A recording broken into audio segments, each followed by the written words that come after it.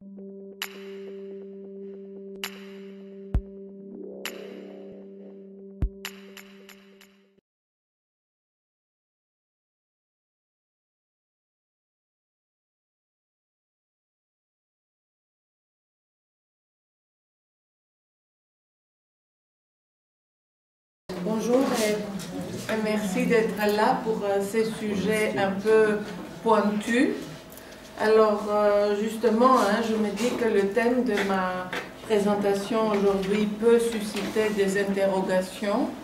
Pourquoi s'intéresser dans un cycle de conférences sur la Grèce moderne au médecin grec d'Istanbul hein? Bizarre. Alors, quelle, importance leur regard peut-il avoir dans, dans, la construction de la Grèce et de l'identité grecque moderne?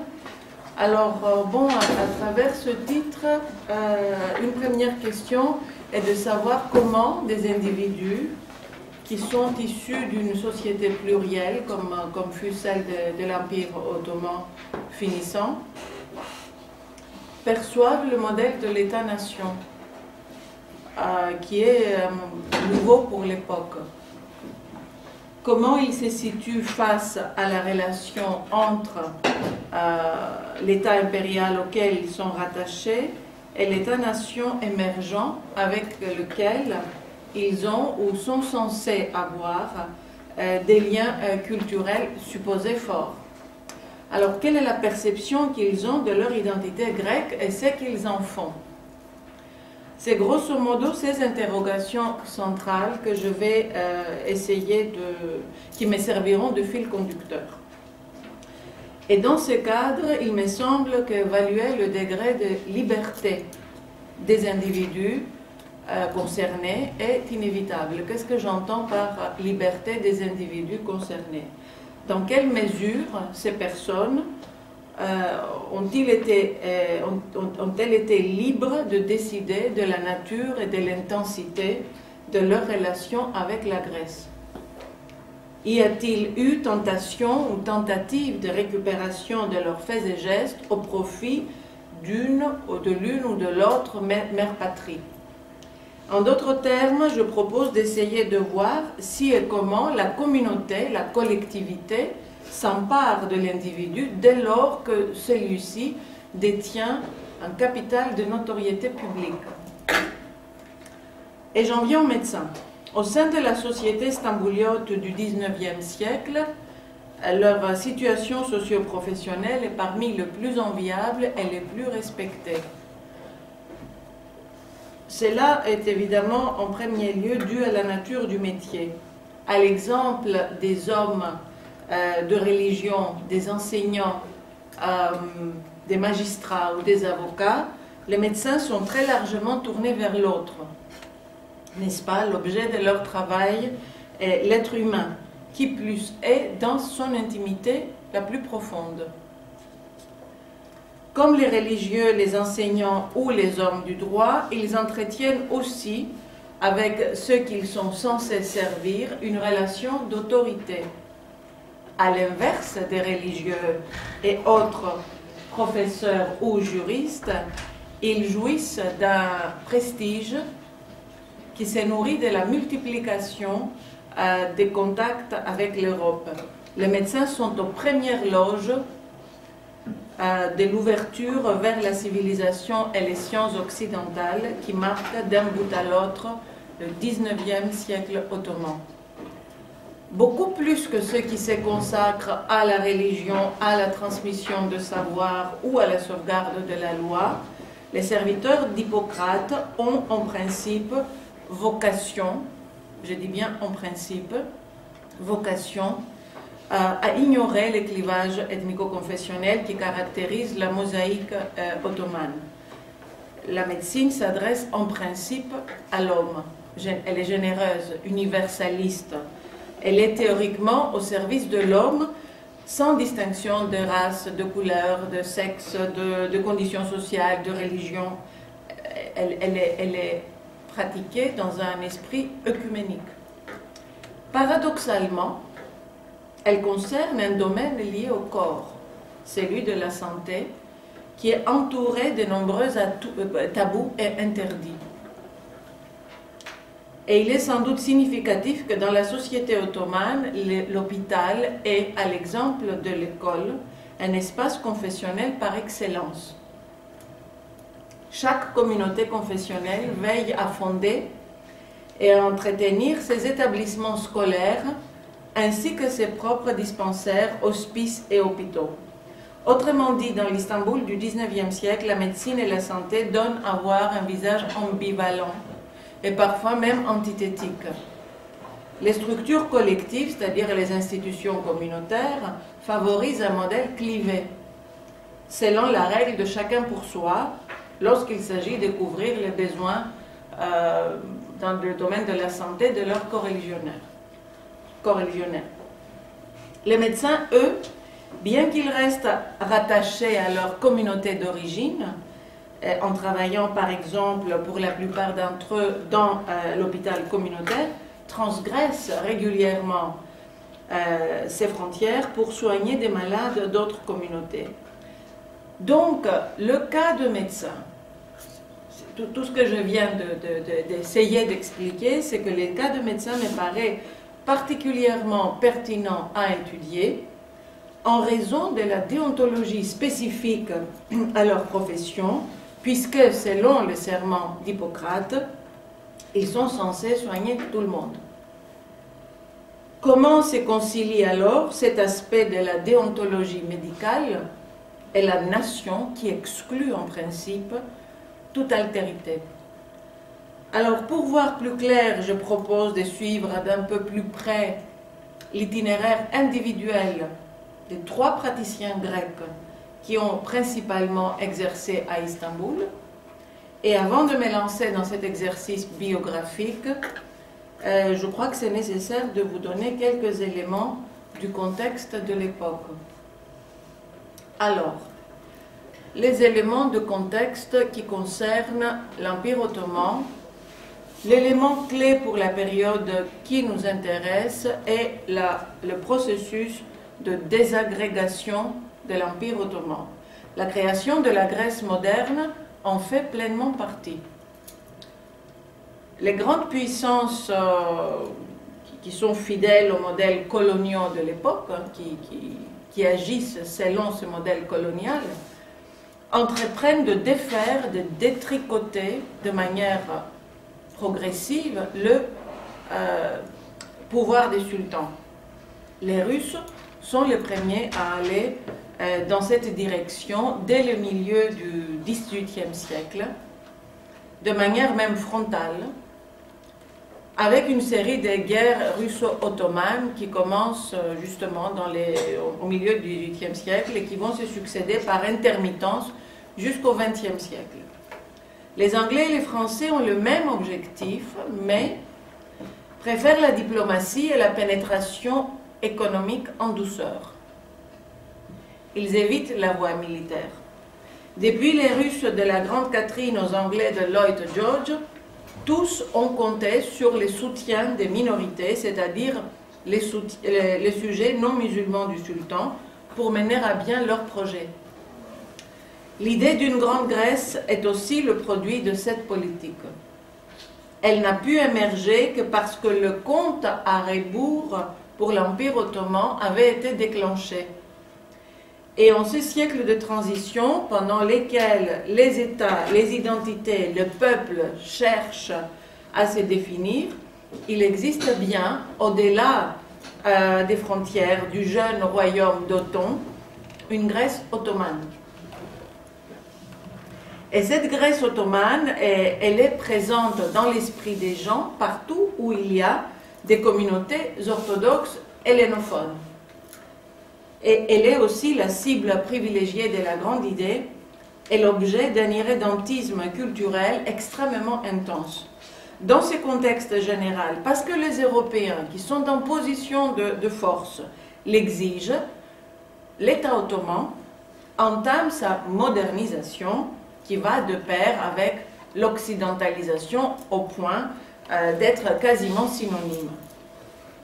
Il y aura une école de médecine qui est créée au sein de l'armée, donc une école militaire, en 1827. Et c'est un des premiers gestes forts de cette ère connue sous le nom de réforme, de Tanzimat. Alors, les médecins ottomans, depuis l'époque de Mehmet II le Conquérant, ils sont au fait des travaux de leurs confrères italiens. Mais au XIXe siècle, c'est la France qui s'impose comme la plaque tournante des études médicales. Jusqu'à la fin des années 1860, le français est la langue des communications médicales dans l'Empire ottoman, quasi exclusivement. Et pendant la même période, les enseignants dans les diverses structures qui vont succéder à cette première école de médecine militaire sont essentiellement des chrétiens ou juifs ottomans et des Européens. Pendant cette période, l'État euh, prend une multitude de mesures pour éradiquer les thérapeutes empiriques, valoriser les médecins diplômés, distribuer de bourses pour des études universitaires en Europe. De l'autre côté de la mer Égée, le contexte général est tout autre, même si les évolutions euh, en matière d'organisation des études médicales sont assez similaires. L'État grec indépendant voit le jour en 1830.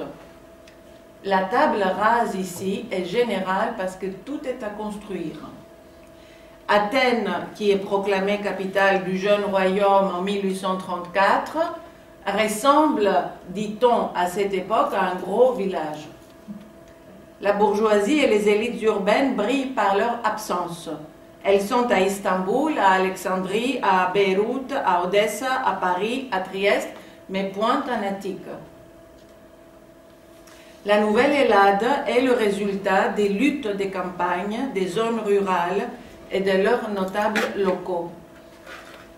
Or, la viabilité d'un État-nation, de l'État-nation en chantier, dépend aussi de sa capacité à c'est doter de cadres pour ces services, d'attirer, à attirer les cerveaux et les mécènes. C'est la raison pour laquelle la fondation de l'Université d'Athènes en 1937 est un acte de nécessité absolue. Former in situ ceux qui vont désormais pouvoir encadrer la nouvelle entité. Et sans surprise, les besoins... Non, c'est pas ça encore. Euh, la médecine est une des quatre facultés qui constituent le noyau euh, initial, parce que les besoins, après dix ans de guerre, sont énormes dans ce domaine. Et deux ans auparavant, en 1835, il y a une école médico-chirurgicale qui a été mise en place, surtout pour former les nombreux praticiens autodidactes qui exerçaient à travers le pays. À l'époque où l'université d'Athènes est fondée, il est pratiquement inconcevable que ceux qui forment les premières équipes puissent n'avoir aucun rapport avec Istanbul. Ainsi, par exemple, le directeur de l'école médico-chirurgicale de 1835 était un Dimitri Mavrocordato, membre de l'illustre famille fanariote homonyme, né et grandi à Istanbul.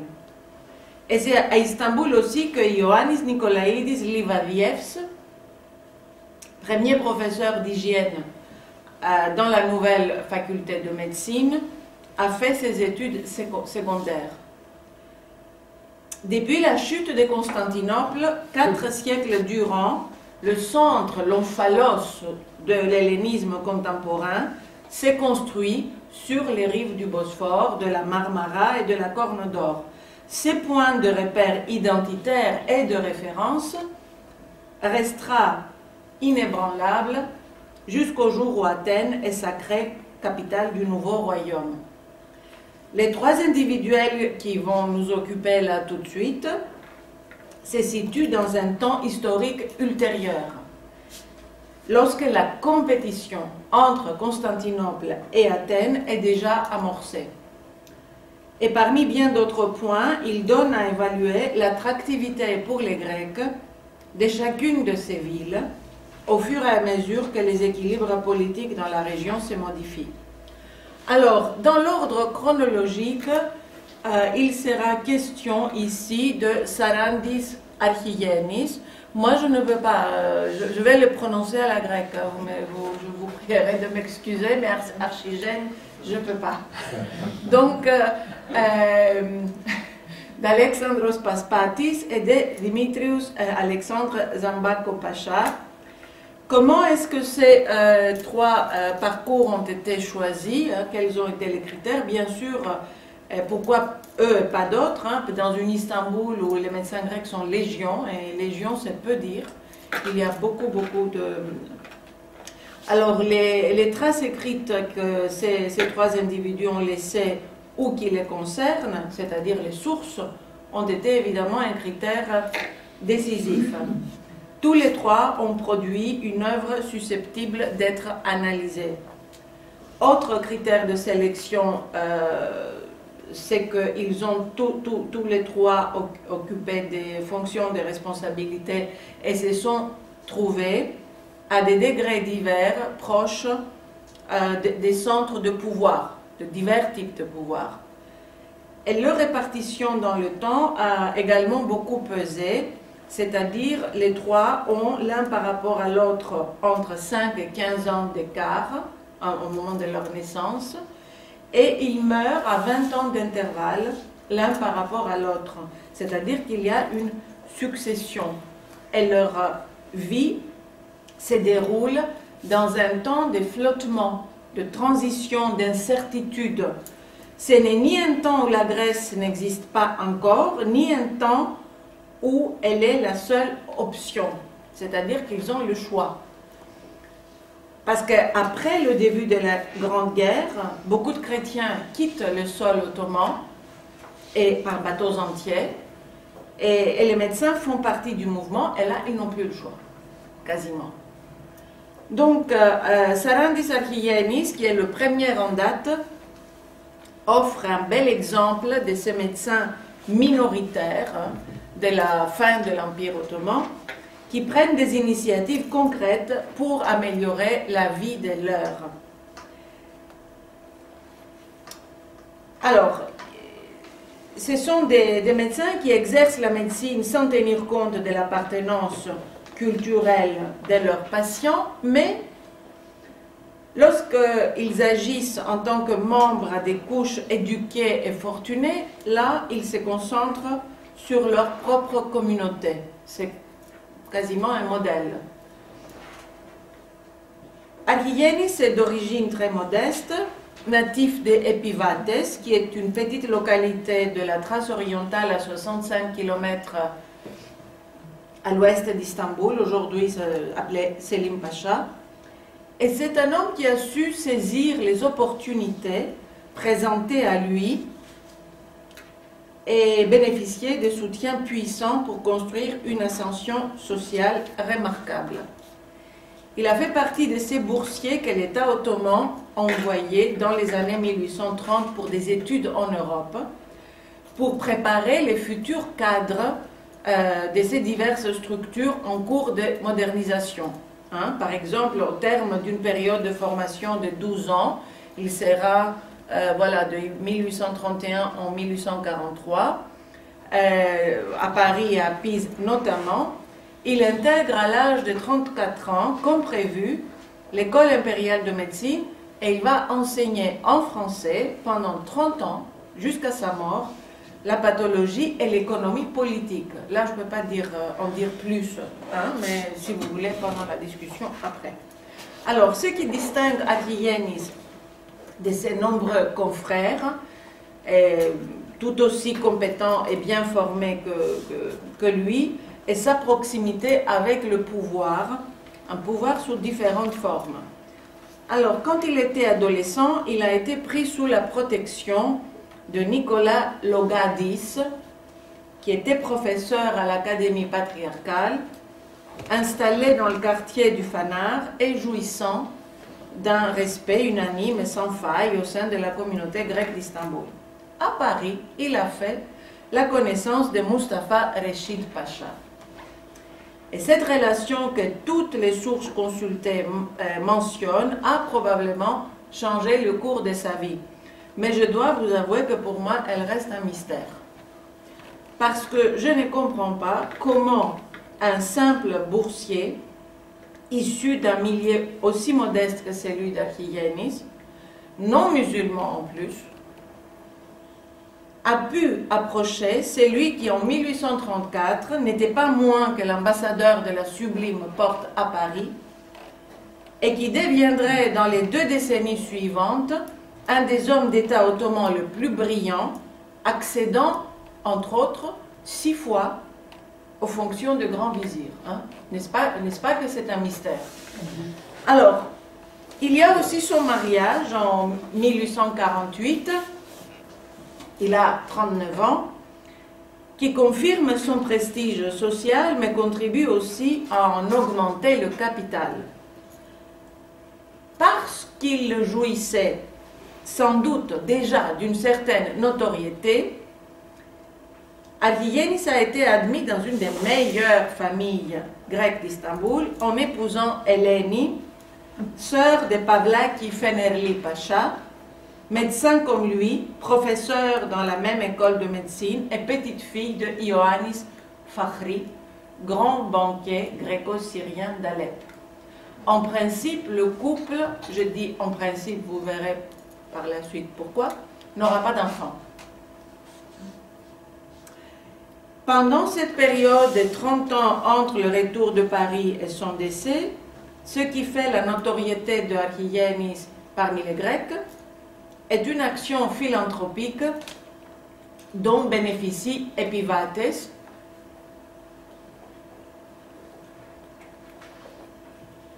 euh, son lieu d'origine. Et ces gestes est loin d'être singuliers. C'est même très typique. Il correspond à un modèle de vergétisme très répandu à travers la Méditerranée orientale, à l'époque qui, qui, nous intéresse. C'est lui qui émigre et réussit, a le devoir moral d'honorer le pays natal. Et de cette façon, il assure aussi sa propre réputation post-mortem, n'est-ce pas et, celle de son success story. Alors, honorer le pays natal signifie contribuer à y améliorer la vie. Et généralement, il s'agit de doter l'endroit d'une œuvre éducative qui portera le nom du bienfaiteur. Adrienis ne s'écarte pas de cette pratique. En 1857, il crée à Epivates une école de filles et un orphelinat et souligne ainsi localement, ainsi localement, par un acte fort et concret, son engagement en faveur de l'éducation des filles qui constitue une priorité à cette époque pour les élites grecques d'Istanbul. Son épouse, Hélène, s'y investit personnellement et passe beaucoup de temps sur place. Hein. Elle commence à habiter de plus en plus, à vivre de plus en plus à Epivates.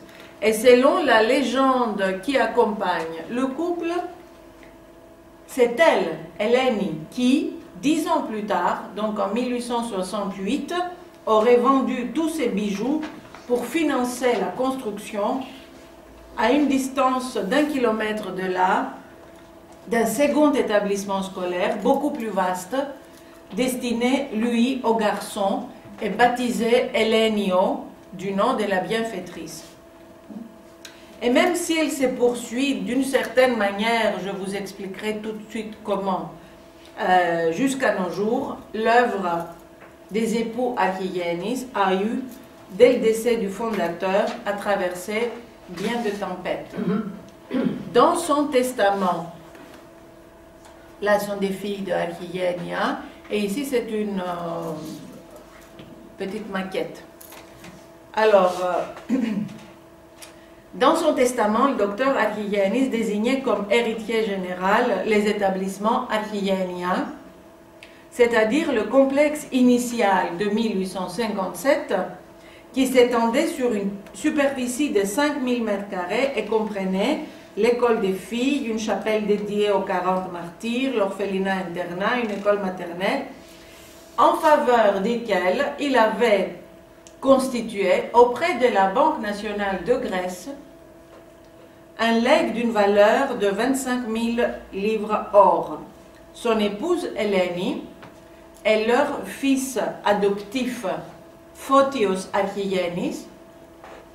Alors, ce Photios Archigenis était un médecin originaire de Maditos, de Egeabat, aujourd'hui du côté des Dardanelles, qui avait été adopté en 1868, semble-t-il. C'est beaucoup plus compliqué, mais je n'ai pas le temps de vous expliquer ici, ça n'a pas de sens. il n'y a pas de...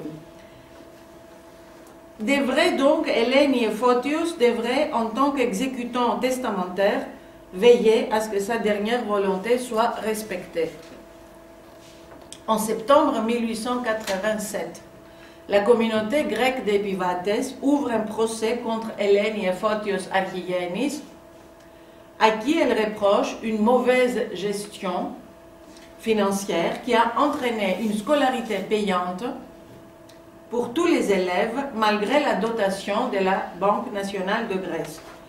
Elle tire, comment est-ce que la communauté apparaît tout d'un coup, elle tire sa légitimité pour cette action euh, du droit de supervision de l'œuvre qu'Akiyén lui-même lui avait conféré dans l'acte de fondation. L'affrontement judiciaire va durer sept ans, de 1887 en 1894, et pendant cette période, Eleni Akiyénis décède de son, à son tour, et après sa disparition, il apparaît clairement que Photios, un étranger, sans parenté biologique avec les fondateurs, n'a aucune chance face à la communauté. Et l'affaire se termine par l'intervention du patriarcat qui met en place une commission, laquelle commission va euh, désormais administrer le bien. C'est pas fini.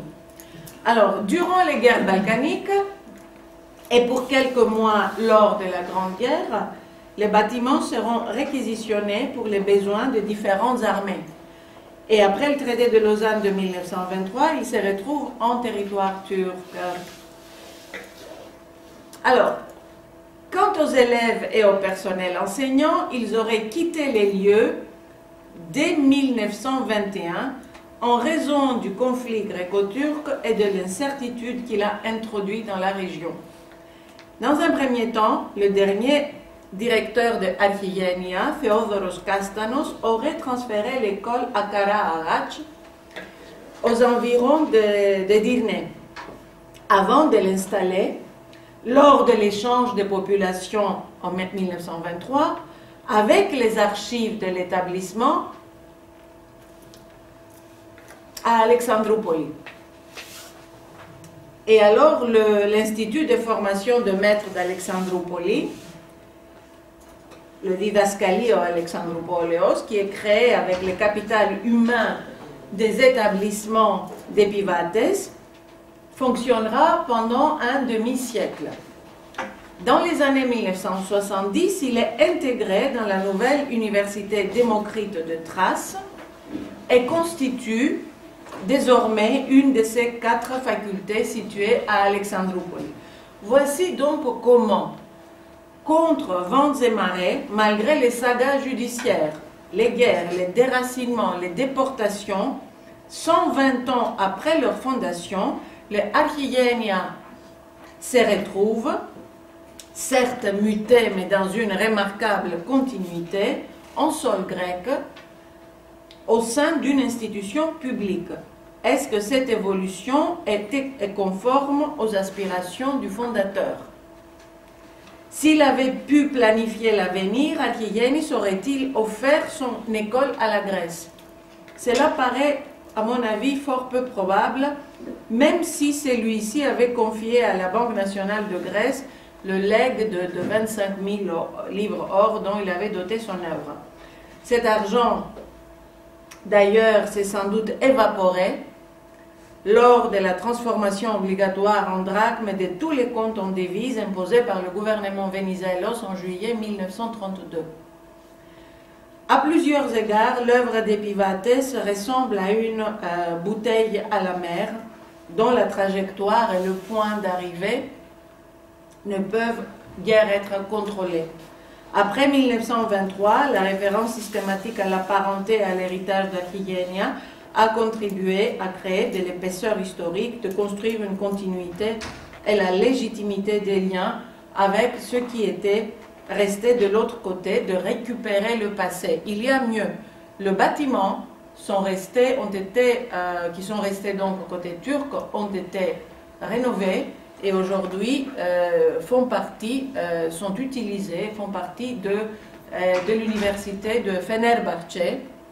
Hein? Vous voyez ici donc les bâtiments rénovés de Archiyenia et, c'est la Algienis appartient à une génération pour, laquelle la Grèce ne s'arrête pas du petit royaume néo-hellénique. Elle est diffuse, elle correspond moins à un territoire qu'à une géographie humaine.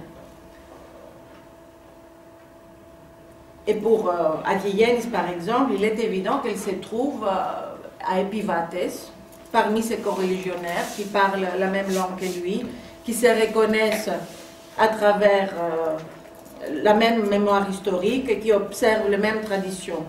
De leur côté, ces populations de la Grèce diffuse connaissent Argyienis à travers son premier ouvrage intitulé L'hygiénomie ou règles pour se conserver en bonne santé à l'usage des habitants de l'Empire ottoman, publié en 1841. Il s'agit d'un livre absolument exceptionnel non pas euh, à cause de son contenu, mais en raison de la large diffusion pendant des longues années à travers les Balkans et l'Anatolie. En même temps que l'édition française, une version grecque est publiée, donc en 1841. Euh, et quelques années plus tard, trois éditions bulgares verront le jour, 1846, 53, 65. Et selon une information non vérifiée, il y aurait aussi une traduction en, turc ottoman, restée inédite, faite par Alexandre Soutso, qui était interprète traducteur à l'école impériale de médecine. Euh, et même si on ignore dans de, laquelle de deux versions françaises ou grecques a été établie en premier, il ne fait pas de doute que la population grecque orthodoxe de l'Empire était un public privilégié pour l'auteur. Avec notre deuxième personnage, nous changeons d'univers. Pour Alexandros Paspatis, la Grèce est bien territorialisée, susceptible de s'agrandir. Son épicentre se trouve indéniablement de l'autre côté de la mer Égée et point en Anatolie. Et malgré les quatre décennies qu'il a vécues lui, Paspatis, sur les rives du Bosphore, c'est Athènes et non pas Constantinople que le docteur Paspatis considère comme le centre de l'hellénisme. C'est à Athènes qu'il va publier la majeure partie de ses livres et c'est à Athènes qu'il passera les dix dernières années de sa vie, une façon d'indiquer qu'à ses yeux, l'hégémonie culturelle constantinopolitaine sur le monde grec, c'était fini. Bon, évidemment, Paspatis euh, n'est pas, pas un Stambouliote, il n'a pas un rapport euh, euh, privilégié, disons, avec la ville. C'est un étranger qui vient d'ailleurs. Il s'installe à l'âge de 26 ans, fraîchement diplômé pour exercer son métier. Mais le choix clair qu'il fait en faveur du, nouvel État-nation puise sa force dans un traumatisme personnel qui remonte à l'enfance et qui compte aussi parmi les éléments fondateurs de la conscience nationale néo-hellénique. Paspatis est né à Chios, dans une famille de la noblesse euh, locale d'origine anatolienne, de Kayseri, de Césarée, et présente sur l'île depuis le début du XVIIe siècle. Il n'a que 8 ans en avril 1822 lorsque les Ottomans, pour prévenir l'insurrection, ont recours au massacre systématique de la population grecque locale, 25 000 morts, 45 000 esclaves, dont les bilans, euh, euh, sont les bilans humains de cet événement retentissant, dont euh, notamment Eugène Delacroix et Victor Hugo ont d'emblée gardé la trace par des œuvres frappantes. Le petit Alexandros faisait partie de ces 45 000 esclaves. Il est racheté par sa propre mère sur le marché de Smyrne et il est aussitôt confié à la famille de l'américain Marshall Pinckney Wilder, commerçant et homme politique euh, dans euh, l'État de Massachusetts. Et ses parents adoptifs le mettent aussitôt, dès 1824, euh, les scolarisent à, Amherst College, qui en ces années-là, manifestement soutient la cause grecque et accueille plusieurs élèves issus des familles quiotes les plus fortunées. Il n'est pas le seul. Alors, le massacre de Chios, qui est un fait fondateur de l'identité nationale néo-hellénique, a donc été aussi, en toute probabilité, également déterminant pour la personnalité et le positionnement de notre Paspatis. Lors de la phase tambouliote de sa vie, euh, lui, il a servi à plusieurs reprises comme médecin de l'ambassade de Grèce euh, auprès de la Sublime Porte. Et il a aussi représenté officiellement ce pays, la Grèce, à la conférence sanitaire internationale de 1866. Parmi euh, ses coreligionnaires, en tant que médecin, il jouit d'une forte visibilité en raison de ses fonctions au sein de l'hôpital grec de Baloukleu, qu'il dirigera de 1851 à 1856. Mais euh, il marque surtout ses contemporains par ses travaux sur la topographie byzantine de Constantinople. Il est notamment l'auteur d'ouvrages sur les palais byzantins et ses dépendances, sur le siège et la prise de Constantinople par les Turcs, dans un volume qui dépasse les 400 pages, publié à Istanbul en 1877, sont réunies ses premières études topographiques et historiques sur Byzance. Lors de ses recherches archéologiques à travers les vestiges du palais de Blachern, il a fait connaissance avec les tziganes installés aux abords des murailles le livre de plus de 650 pages qu'il a consacré à leur langue est l'unique travail qu'il a publié en français, qui est conservé aujourd'hui à la BNF, mais je crois que vous pouvez aussi l'avoir sur, euh, à la Bulag, mais aussi sur euh, Internet, Bernard, euh, directement, téléchargeable. Oui il a, le, reste de sa production intellectuelle est essentiellement en grec. Il y a quelques travaux en anglais, mais au fur et à, mesure qu'elles paraissent, les recherches de Paspatis apportent de l'eau au moulin de la théorie de l'historien athénien Constantin Paparigopoulos. Contrairement aux perceptions euh, précédentes, Paparigopoulos considère Byzance comme un maillon à part entière de la longue histoire des Grecs depuis l'Antiquité. Selon Paparigopoulos, depuis l'Antiquité, l'hellénisme est un et indivisible. La continuité est ininterrompue. En d'autres termes, les Byzantins ne sont plus vus comme les successeurs des Romains, mais tirent leur euh, origine de la Grèce antique. Paspatis, donc, il est défenseur de la théorie de la continuité, adepte de l'école de Paparigopoulos. Et ça, ce sont des, théories qui sont dominantes encore dans l'idéologie et l'historiographie grecque jusqu'à nos jours. Et il adhère ainsi pleinement à la euh, vision que le nouvel État-nation offre de l'identité nationale. Paradoxalement, un espace, l'espace stambouliote, dont il ne reconnaît plus le rayonnement et son apport principal à la construction de la Nouvelle-Grèce. C'est avec cette même dot byzantine que le docteur Paspatis rejoint et enrichit 20 ans durant, de 1862 en 1882, le silogue littéraire grec de Constantinople, temple du savoir et bastion d'irrédentisme culturel et il en est le président trois fois. Euh, et c'est ainsi comme byzantiniste que le perçoivent divers intellectuels européens et notamment français. Les liens de Paspatis avec la France commencent sur les bancs de la faculté de médecine de Paris où il est passé dans les années 1830. Alors, il a fait toute sa scolarité aux États-Unis. Une partie de sa formation médicale a été acquise à l'université de Pise, mais c'est en français qu'il a écrit sa volumineuse étude sur les Tchengianais et Bohémiens de l'Empire ottoman. Et il a, semble-t-il, conservé des rapports suivis avec les byzantinistes français. Dans son livre Les îles de Prince, l'historien Gustave Léon Schlumberger décrit ses pérégrinations, ses propres pérégrinations à travers la Constantinople byzantine avec comme guide le docteur Paspati, l'infatigable, je cite, chercheur des ruines de Byzance, le parfait connaisseur des Byzances et du Moyen Âge. En 1883, quelques, années, quelques mois pardon, après son installation à Athènes, Paspatis sollicite son admission au sein de la Société de géographie de Paris.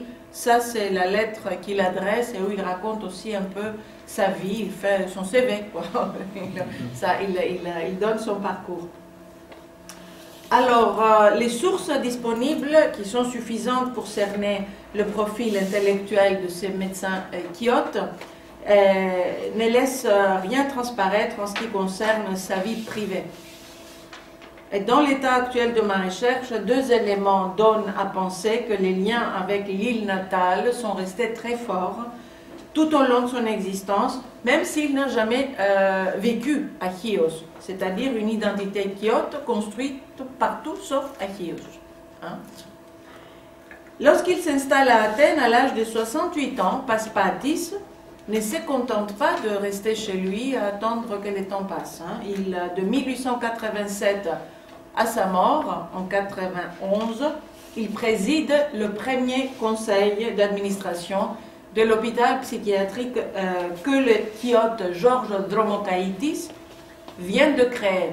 Le père du Dromokaitio aurait vécu le massacre de 1822 dans les mêmes conditions que Paspatis. Il, a été vendu comme esclave à Istanbul, racheté par des parents, envoyé au loin, mais lui, on ne l'a pas envoyé aux États-Unis, on l'a envoyé à Beyrouth, ensuite à Alexandrie. Comme Paspatis, il appartenait à une famille insulaire très ancienne, remontant, elle, à l'époque byzantine. Autre élément qui confirme euh, l'hypothèse que le lien à Chios, la Chios Connection, a dominé l'ensemble de son parcours affectif, intellectuel et des prises de, position de, de ces personnages, c'est sa femme. Alors, selon une information à vérifier, que je n'ai pas pu vérifier encore, Paspatis aurait épousé en 1852, il avait 38 ans et il était directeur de l'hôpital de, à Istanbul, Argiri né Vouros. Alors, les Vouros, qui est aussi une famille établie à Chios depuis la fin du XVe siècle, occupent une place ostentatoire dans la société athénienne du XIXe siècle. Un d'eux, par exemple, est le médecin euh, personnel de roi Othon et Georges Ier. Et aujourd'hui, dans l'hôtel particulier euh, familial de Vouros, euh, aux abords de la place Klafmonos, se trouve le musée de la ville d'Athènes. À l'évidence, au-delà du lien fort et indéfectible avec le pays natal, l'alliance via le mariage avec des familles qui ont rang et fonction d'élite est aussi un trait commun entre Akienis et Paspatis. Et sur ces points, ils ne sont pas les seuls. Le mariage avec une demoiselle de la haute société est une règle dont la grande majorité de médecins stambouliotes, grecs du moins, n'a guère dévié. On la retrouve dans les choix de notre troisième personnage, le docteur Dimitrios Alexandre Zambako Pacha. Sauf que dans son cas, selon toute probabilité, l'épouse a été la principale cause du virage imprévu qu'a pris sa vie. Elle a aussi sans doute pesé sur la nature des liens que Zambako Pacha entretenait, du moins en apparence, avec la Grèce et le monde grec. Contrairement à Atriyenis et à Paspatis, Zambako est un natif d'Istanbul. Il voit le jour à Yeniköy sur le Bosphore le 6 mai 1832 dans une famille noble locale avec notamment un ascendant ayant le titre de prince Hetman, Hetman étant un chef de Cosaque. À l'âge de 18 ans, 1850, il se retrouve à Paris. Il étudie la médecine, s'oriente très vite vers la dermatologie et la vénérologie. En 1862, diplômé trentenaire, déjà remarqué dans les milieux médico-parisiens, il épouse Maria Cassavetti. 18 ans, fille d'une des familles les plus en vue de la communauté grecque de Londres et une des mieux introduites dans les milieux artistiques britanniques. Il a, elle a des oncles qui ont des grands collectionneurs d'œuvres d'art.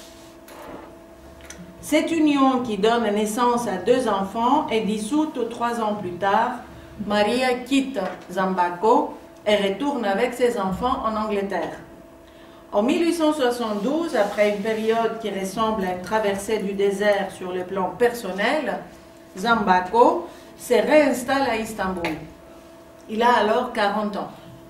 Selon diverses notices biographiques qui le concernent, le comeback dans la ville natale s'est fait à l'invitation du gouvernement ottoman qui souhaite lui confier la réorganisation de l'école de médecine. Bon, hein? lorsqu'on regarde les choses d'un peu plus près, il n'y a pas de, pas de trace de Zambako et de toute, toute évidence ne pouvait pas assumer euh, quelque charge que ce soit au sein de cette institution parce que le timing lui était très défavorable. À partir du début des années 1870, la langue de l'enseignement médical est le turc ottoman. Les choses ont changé. Et on ne voit pas comment quelqu'un qui vit à Paris depuis l'âge de 18 ans et qui n'écrit qu'en français peut s'y intégrer. C'est peut-être ces concours des circonstances, c'est-à-dire une vie familiale brisée, un environnement professionnel incertain, qui l'a poussé vers la recherche. Dans les quatre décennies suivantes, jusqu'à sa mort, Zambako s'impose comme un des meilleurs léprologues de son époque. L'ensemble de son œuvre écrite, qui est considérable, est publié en langue française de 1883 à 1913, en fait les 30 dernières années de sa vie. Il a commencé à écrire à 50 ans. Dans ses travaux sur la lèpre, Zambako plaide en faveur de l'hypothèse de l'hérédité et met tout en œuvre pour la démontrer. La validation, euh, alors qu'est-ce qui se passe? On sait que la communauté médicale internationale valide en 1909, lors du congrès international de Bergen, la thèse de Hansen, de Gerhard Hansen, norvégien, médecin norvégien, selon lequel la lèpre est une maladie infectieuse chronique. Et donc, euh, je suppose que ça a dû être un coup très sévère pour euh, Zambako, quelques années juste euh, avant sa mort. Mais on peut souligner qu'un siècle plus tard, au début des années 2000, des études menées au Vietnam, en Chine, dans l'Inde du Sud par des équipes franco-canadiennes et indo-britanniques mettent en évidence une corrélation directe entre, génétique, entre la génétique et la lèpre. Alors ça, c'est une euh, trouvaille, euh, découverte toute récente. Pendant cette période de foisonnement scientifique, Zambako reste en contact avec l'Académie européenne. Il travaille main dans la main avec le Norvégien Daniel Danielsen, les prologues renommé comme lui, défenseur comme lui de la théorie de l'hérédité de la lèpre, beau-père de Hansen. Il a des échanges avec Jean-Martin Charcot, fondateur de la neurologie, célèbre pour ses études sur l'hypnose et l'hystérie, peut-être le meilleur médecin, le plus grand médecin de France au XIXe siècle. Et la Grèce, dans cette vie aussi mouvementée Quelle place occupe-t-elle et sous quelle forme? D'après les informations disponibles à ce jour, elle n'est guère matérialisée. Elle ne correspond certainement pas à un territoire. Elle n'est même pas identifiée à la communauté grecque d'Istanbul dont cet homme est issu. Mais elle constitue une appartenance qui le suit à la trace, lui colle à la peau, qu'il le veuille ou non, jusqu'à la tombe. Sa grécité, Zambako l'assume parfaitement, pleinement, en la conjuguant à son rang social. En 1868, il est encore à Paris. Il, il devient membre donateur, membre donateur, donc bien plus qu'un simple membre, de l'Association pour l'encouragement des études grecques. À partir de 1872, lorsqu'il est de retour dans l'Empire ottoman, sa vie se compose de différents morceaux hétéroclites et se déroule fragmenté sur plusieurs lieux. Un morceau à Istanbul où il tient son cabinet. Autre morceau, ses nombreux voyages de recherche à travers la Méditerranée, la Grèce, l'Égypte, la Palestine, la Syrie, l'Italie, la France. Troisième morceau, les séjours en Europe et surtout à Paris, les congrès internationaux. À Istanbul même, plusieurs années après son retour, plane davantage son absence que les traces de quelques présences. À la vie publique de la communauté grecque, il participe par intermittence.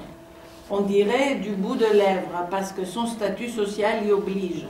Bon, là, je ne, vais pas vous faire la liste des quelques éléments que j'ai trouvés, mais c'est vraiment tellement insignifiant que ça ne vaut pas la peine, on va gagner un peu de temps.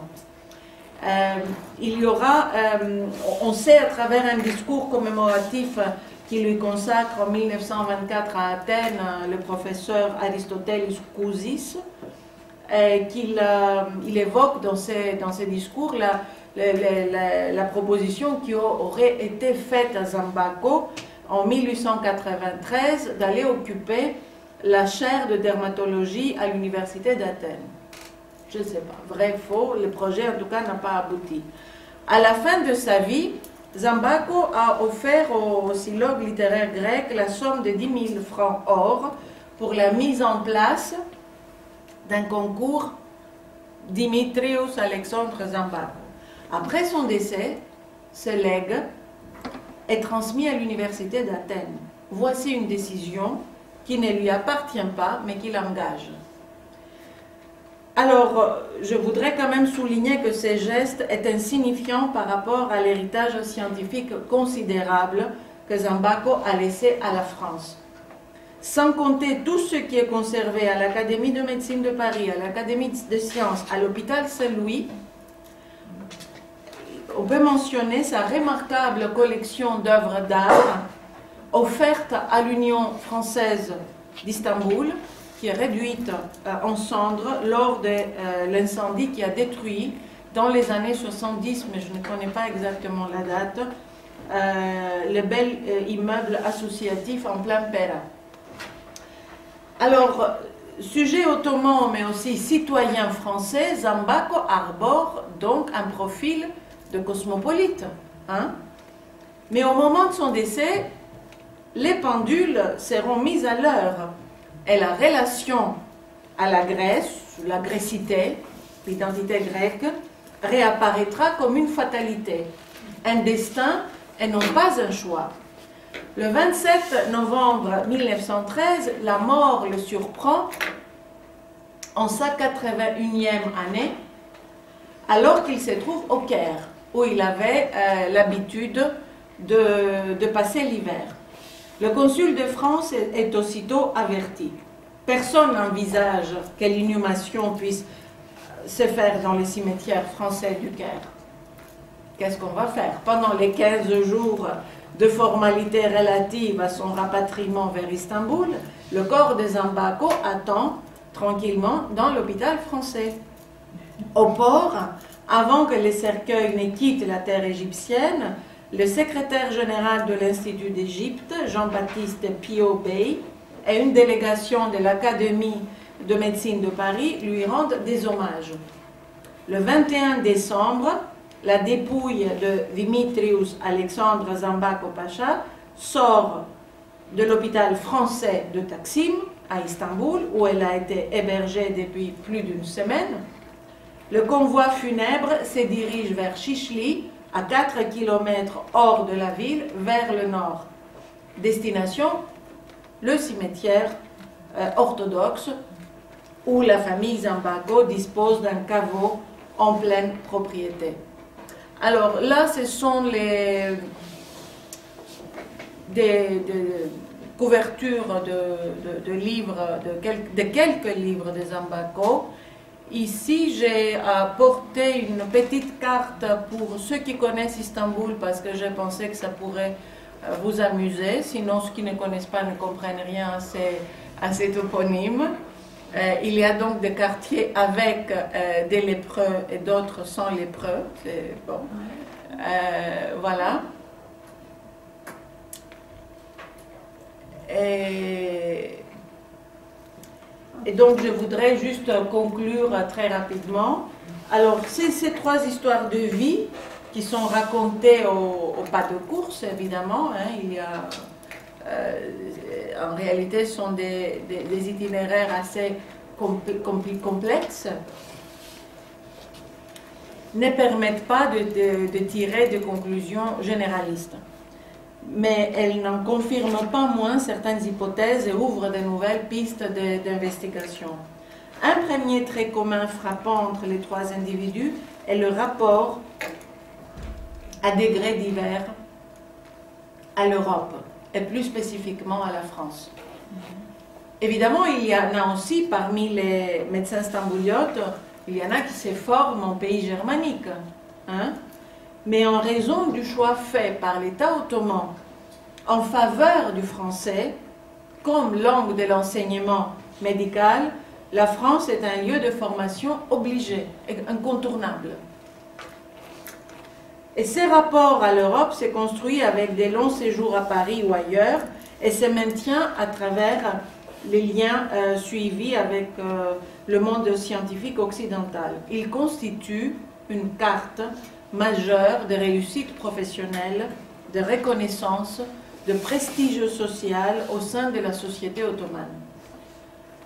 L'expérience américaine de Paspatis nous permet d'en avoir et c'est là un terrain à explorer, l'au-delà de l'Europe. C'est-à-dire un monde gréco-ottoman qui commence dès le début du 19e siècle à s'élargir et à traverser les océans. C'est un mouvement qui prendra de l'ampleur euh, euh, quelques décennies plus tard. Alors, les trois parcours que nous avons déroulés mettent aussi en évidence la diversité sémantique des mots Grèce ou grécité. C'est-à-dire que ce, ce ne sont pas des mots qui signifient la même chose pour tout le monde, selon les personnes. Paspatis se forge une conscience nationale presque dans le sens actuel du terme. Il adhère à l'idée de l'État national et contribue avec ses moyens à sa réalisation. En revanche, pour Archiyenis et Zambako, la graisse et la graissité restent diffuses, hein, elles planent. Et lorsqu'il s'agit de les territorialiser, elles se, limitent à l'environnement immédiat, le village d'origine, la paroisse, la communauté qui les a vus grandir. Enfin, le rapport à la Grèce, ces trois personnages ne sont pas seuls à les définir. Il est aussi le résultat de, des perceptions des autres, et plus fatalement du cours de l'histoire. Je vous rappelle que le consul de France ne s'est pas posé de questions, il a, il embarqué la dépouille et il l'a envoyé à Istanbul. Hein. Dans les cas d'Akiyanis, il y a bien 150 ans après sa mort, récupération, réemploi de son œuvre, et même double. L'héritage éducatif revient à l'université Démocrite de Thrace en Grèce, celui du bâti est désormais repris et valorisé par un organisme turc. Pour ce qui est des embargos, euh, mis à part euh, cette histoire du lieu d'inhumation qui en dit long sur le positionnement identitaire au-delà de la volonté de l'individu, il est impossible de ne pas remarquer qu'il existe aujourd'hui à Athènes plusieurs médecins euh, avec le même nom de famille. Hein, et certains sont même nés à Londres, ce qui ne laisse aucun doute quant à leur parenté avec l'illustre dermatologue du 19e siècle. Bon, je crois que je vais m'arrêter là. J'avais encore une petite remarque, mais c'est pas grave. Merci beaucoup.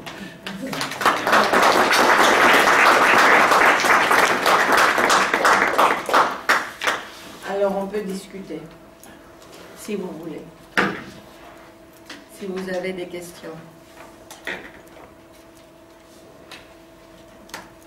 Oui. Oui, oui. Est-ce que Passepartout, c'est une spécialité médicale Je crois qu'il s'est oui, oui, il s'est intéressé à l'épidémiologie. Il y a des travaux. Euh, il y a, je peux t'envoyer un article, mais il est en grec, euh, sur euh, ces notes et différents, des différents textes qu'il aurait fait sur des questions d'épidémie.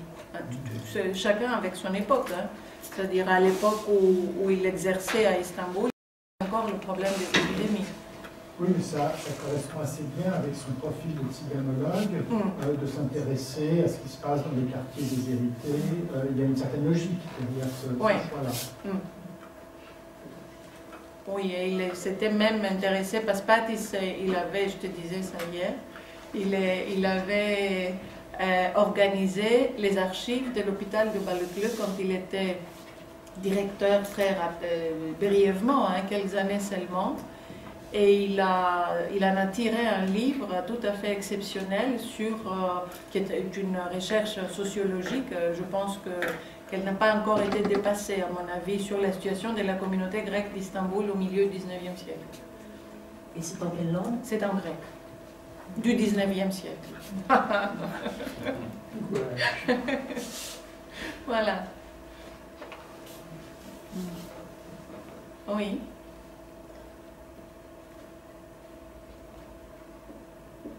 Je veux faire la propagande pour Passepatrice parce que euh, c'est quelqu'un qui a véritablement euh, débloqué les études ciganes euh, en Europe à ce moment-là. Il y avait un ouvrage de base des années 1780 de Grellman, qui était la première compilation scientifique véritablement, mais qui pêchait beaucoup sur le plan linguistique, à savoir qu'on savait que le romani est d'origine indienne, mais on n'avait pas beaucoup d'éléments, et on s'appuyait surtout sur les parlers euh, de l'Europe occidentale.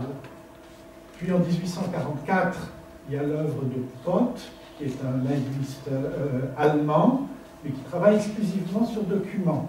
Et donc, il je pense que Pott n'a jamais rencontré un tzigane vivant euh, de toute sa vie, mais qui travaillait sur des, éléments linguistiques, qu'il a travaillé de façon extrêmement euh, sérieuse. Donc c'est 1844. Et euh, Paspatis arrive en 1870 avec la première étude de terrain d'un linguiste qui va chez les tziganes, qui se fait d'accepter par eux, qui euh, apprend une langue pour laquelle il n'y a pas de grammaire ni de dictionnaire préexistant, et qui surtout travaille sur les parlers rouméliotes, qui sont beaucoup plus intéressants parce que euh, beaucoup moins corrompus que les parlers euh, d'Allemagne, de Grande-Bretagne ou euh, d'Espagne. Donc il y a un, tournant dans la recherche tsiganologique en 1870 avec l'ouvrage sur les Tchingane qui est véritablement un, pilier dans les, études du, du romain. En tout cas, c'est alors justement juste pour compléter ce que tu dis Bernard, c'est que Passepartis, euh, je, pense que les 650 pages de ses livres sur les, les tziganes, c'est euh, en fait euh, à côté de, ses recherches de terrain, près des murailles de, Constantinople, hein, parce que la région, enfin les secteurs, pour ceux qui connaissent un peu Istanbul, les secteurs où se trouvaient les, les tziganes, c'était du côté de, la porte de Dirne. Hein de Dirne Capeux. et, qui, est qui était un secteur où il y avait des, des tziganes jusqu'à il y a un an hein, ou deux, n'est-ce pas? Ce sont des quartiers qui ont été euh, désaffectés. Oui.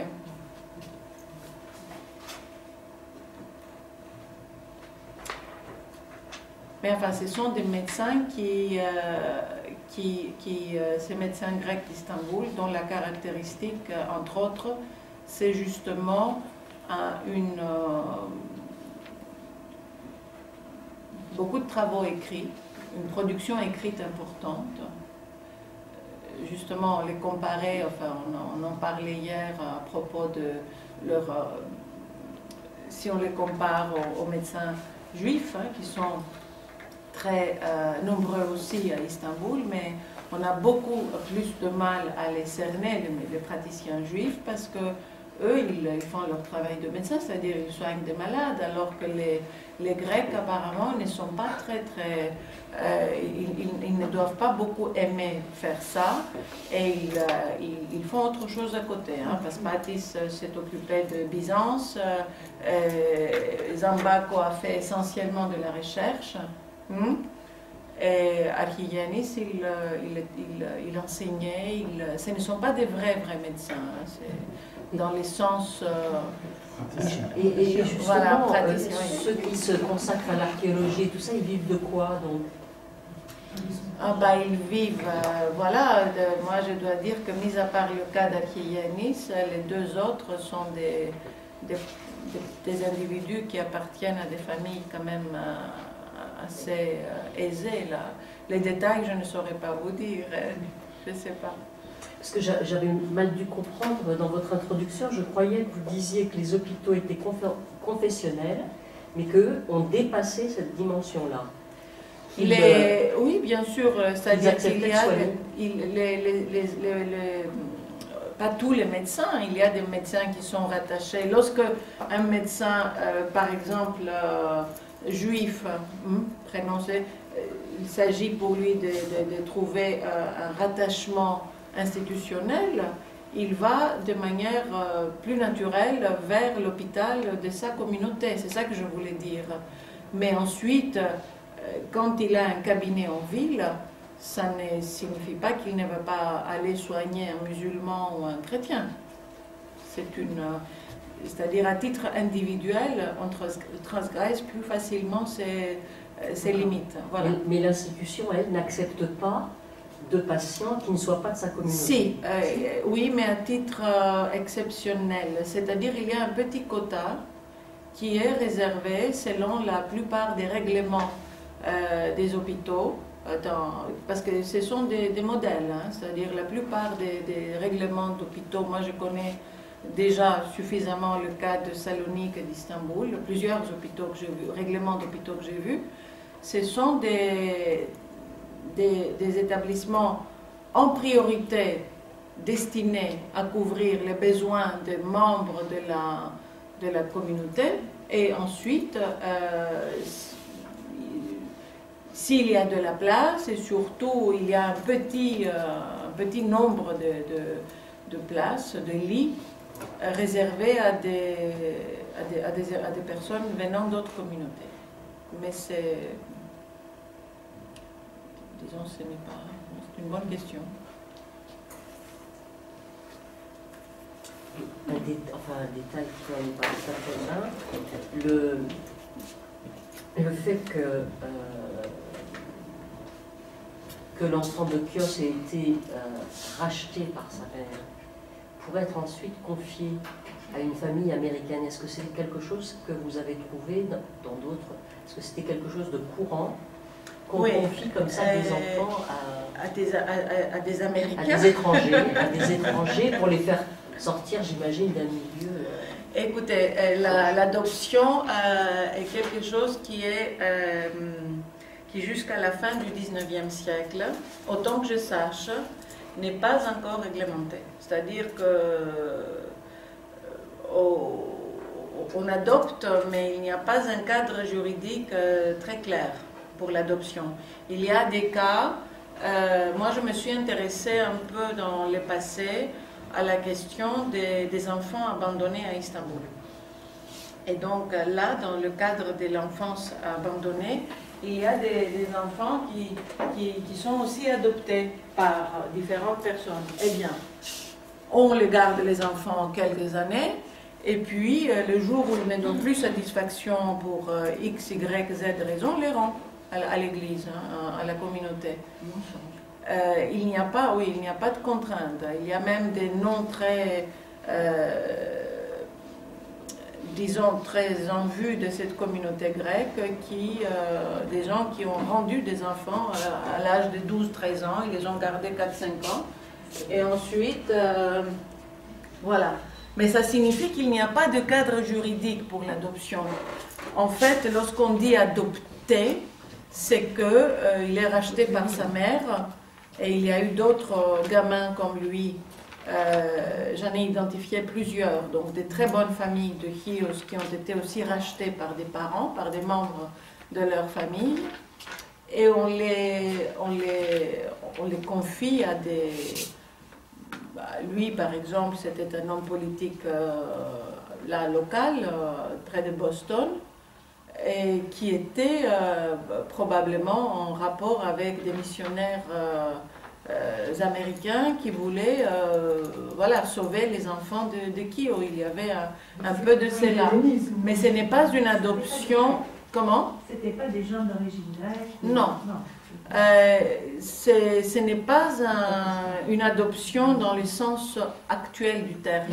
C'est ça que je veux dire. mais je veux dire, c'était relativement. Et ce n'est pas une adoption pour la vie. Hein. Le Paspati s'est allé là-bas euh, en 1900, 1824 et en 1831, il a quitté les États-Unis pour ne plus y retourner. Voilà, il est resté quelques années, il a fait sa scolarité à Amherst, il est revenu en Europe et puis voilà, c'était fini. Je ne sais pas quel rapport il avait avec, euh, avec ses, ses parents adoptifs. Aucune idée. Euh, je peux signaler que son premier texte sur les tziganes qui paraît en anglais, il l'a rédigé en grec et il le fait traduire. Donc euh, il n'a pas rédigé lui-même en anglais. Ça, ça me rassure. Ses années d'enfance passées aux États-Unis. Ça me rassure, Bernard, parce que je dois dire que toutes ces personnes qui écrivent, euh, qui rédigent des, pages et des pages en français, par exemple, après avoir fait quelques années, peu de temps en fait, en plus dans des facs de médecine. Et puis ce sont des torrents de, livres qui... Euh, alors je n'ai jamais compris, ça c'est un mystère pour moi. Par exemple, les, euh, qui était un homme euh, qui, qui en plus venait d'un milieu très modeste, hein, ce n'était pas quelqu'un qui... Comment est-ce qu'il a pu arriver à Paris? En peu de temps faire ce livre qui est une compilation, il faut bien voir. Hein. Moi j'ai un peu comparé à, d'autres travaux en français à l'époque. Je ne sais pas s'il a fait d'abord en, grec ou d'abord en français, mais c'est vrai que la question de la langue est, un, mystère. Hein. Comment est-ce qu'il... Euh, bon, Zambako, disons qu'il a été, lui, euh, mais vraiment, il n'a rien écrit en, en, rien d'autre, seulement en français. Il a écrit uniquement en français. Alors, euh, je ne sais pas comment il ils ont fait. Ça donne à réfléchir sur la manière dont le français est reçu euh, à cette époque. Oui. Alors, euh, Passeparti, c'est un dieu pour moi. Alors toi, il a écrit en anglais français. Il a écrit en anglais français. Ses, ses subjonctifs sont flottants. Euh, euh, c'est pas, pas de la très belle langue. Voilà. Donc, euh, peut-être que tu, oui, tu... Non, mais il n'a pas écrit beaucoup en français, Passepartis, du coup. Il n'était pas à l'aise, je pense. Voilà et en anglais non plus. Disons que c'est plus cohérent. Les autres, je ne sais pas.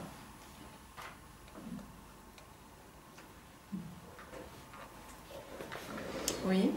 Et donc l'histoire de Archienis pose la question de la mobilité sociale quand même. Bien sûr, oui. évidemment. Mais justement, là, il y a des éléments qui pour moi sont un peu, je ne sais pas, il y a, il y a D'abord, c'est quelqu'un qui a fait partie de cette génération d'Ottomans des jeunes ottomans qu'on a envoyés en Europe avec des bourses. Il y a eu, dans les années 1830, on a, euh, on a donné beaucoup de bourses à des, jeunes gens, y compris enfin, pas seulement des musulmans, mais aussi des chrétiens, des juifs, etc., qui ont fait des études, notamment médicales. Et c'est pour ça que je dis qu'il a su attraper les occasions quand elles passaient. Ensuite, il, a, il y a eu le. euh, bon, il a, il a manifestement aussi compté sur l'appui des personnalités importantes, mais je ne sais pas, euh, parce que euh, je ne sais pas comment il a fait avec Mustafa Rishid Pacha, parce que ce n'était pas n'importe qui cet homme. hein. Comment est-ce qu'ils ils ont. Ça, c'est un élément que je ne connais pas, et je ne sais pas si ça fait partie un peu de la légende euh, construite par ces biographes autour de ces personnages, ou s'il y a une dose de, vérité. hein. Parce qu'il y a eu beaucoup d'anecdotes que j'ai euh, retirées dans... Il y a eu de la censure dans ce que j'ai fait.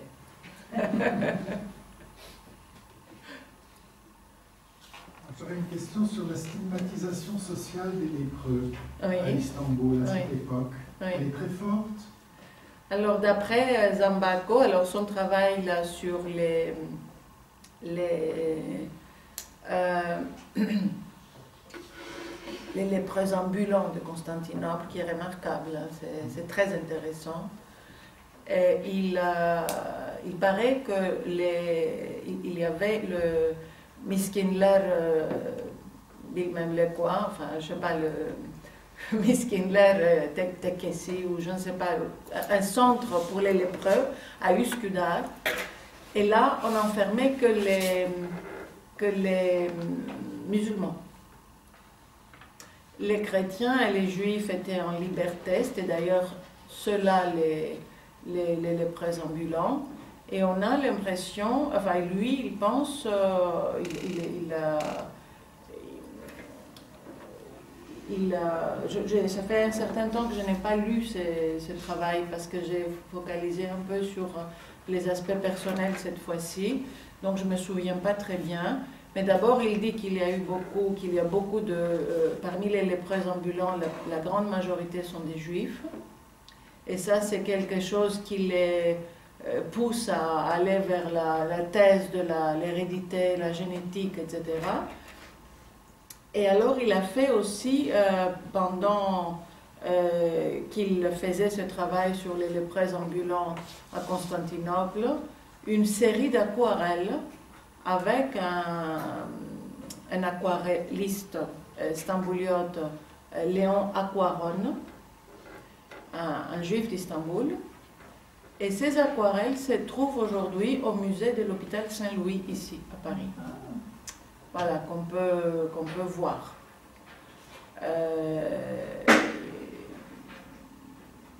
voilà, la stigmatisation, je ne saurais pas te dire. Je ne me souviens pas. Je, je peux chercher, mais je te dirai. je ne me souviens pas, ça fait... je fais une analogie entre deux médecins de la grande bourgeoisie. L'un va sous la tente des tziganes euh, dans les faubourgs, l'autre va chercher les lépreux. N'est-ce pas Pas évident. N'est-ce pas Oui. Il, y a, il y a quelque chose là, mais je pense que a- d'abord, il a eu les honneurs en France parce qu'il a découvert des foyers de, de lèpre en France. C'est pour ça qu'il a été, oui, oui, parce qu'il paraît que ça a été les seuls médecins euh, ottomans. euh, et- et- et- être mo- euh, comme membre à, à- à part entière de l'Académie de médecine de Paris. Les autres étaient des membres correspondants ou je ne sais pas quoi. Il y avait des titres un peu.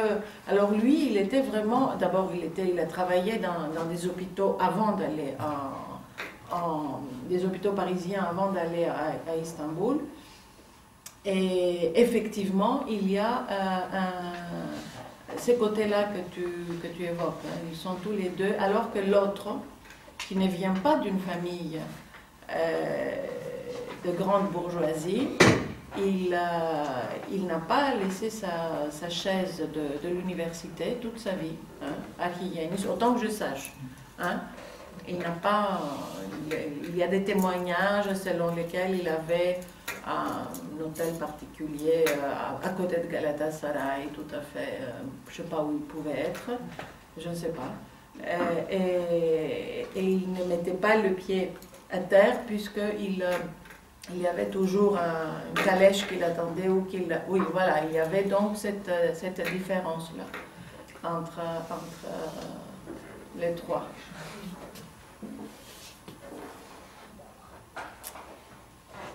Il y avait un hôpital français à Istanbul. Oui. Il bien datait de cette époque-là.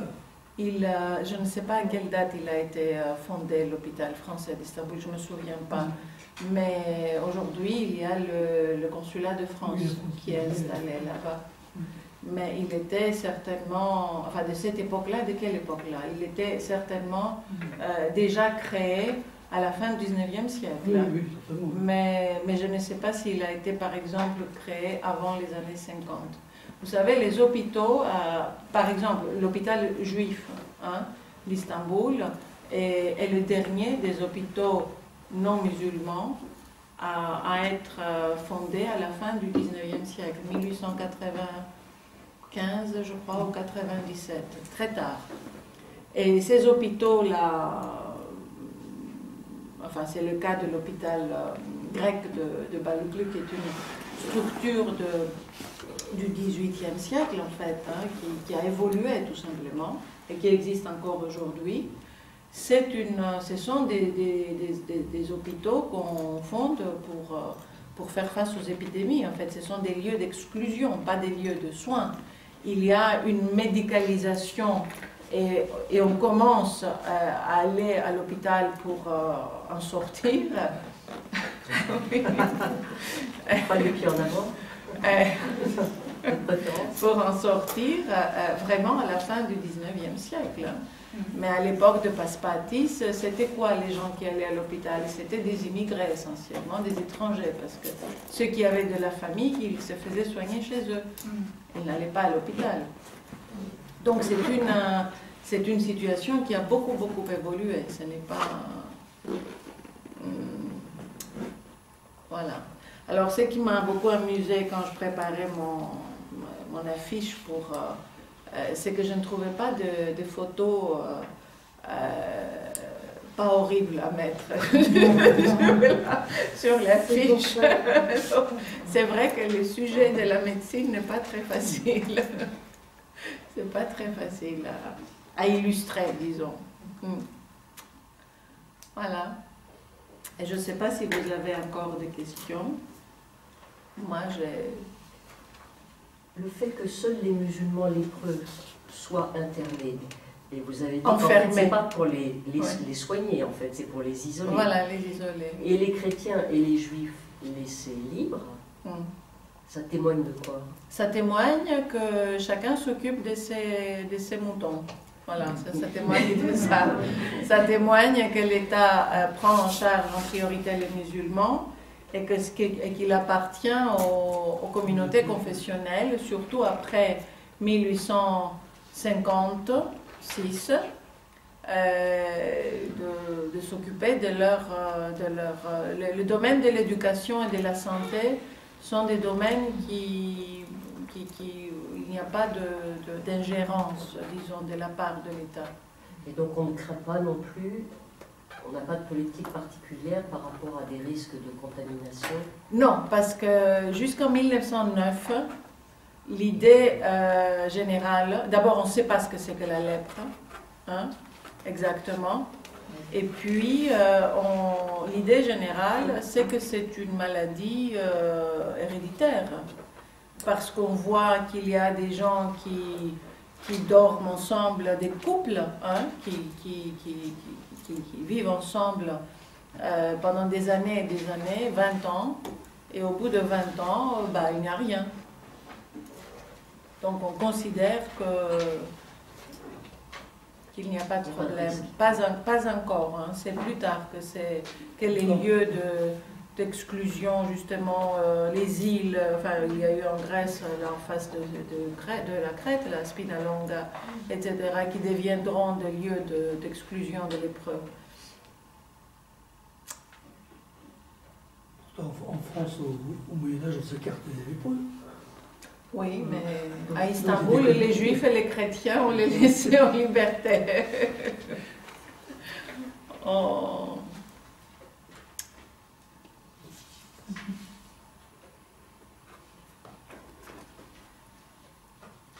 Voilà, alors euh, donc euh, je pense, euh, si vous n'avez pas de questions, on peut, on peut s'arrêter là. La prochaine conférence aura lieu le 14 mars.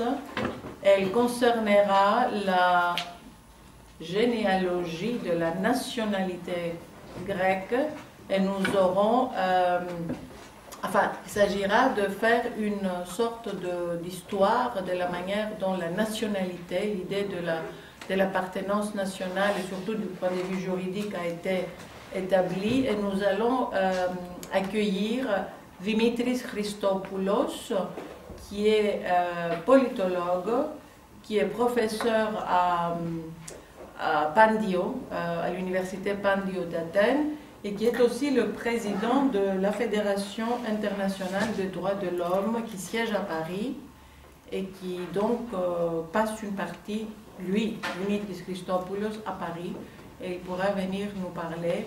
Il a consacré euh, une grande partie, c'est un très bon connaisseur de cette question, euh, une bonne partie de ses travaux de recherche euh, récents à, la, question de la nationalité. D'un point de vue essentiellement depuis, depuis la création de l'État grec. Voilà.